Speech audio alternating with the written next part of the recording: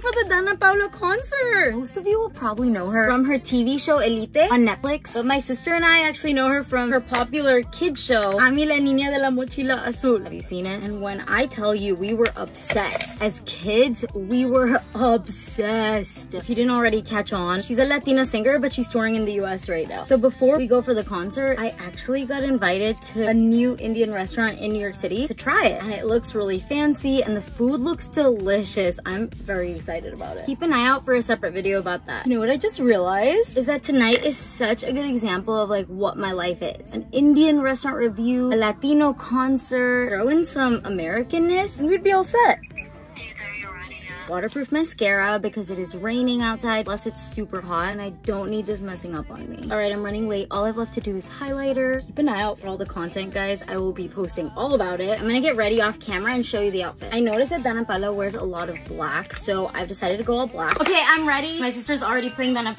music. Here's the outfit. Let me show you really quick because we gotta go. So I'm wearing these like dressy black shorts. They're super dressy, sparkly black silver top with this on top. Like I said, Danna is wearing a lot of of black on this concert, so I figured black was the way to go. And then it's New York City, a lot of walking and standing and jumping, so I'm wearing sneakers. I'm wearing the white sneakers, not black sneakers. I feel like it looks better. Jewelry, I'm wearing silver, and I'm ready to go. Okay, stay tuned. I'll let you know how it goes. Bye.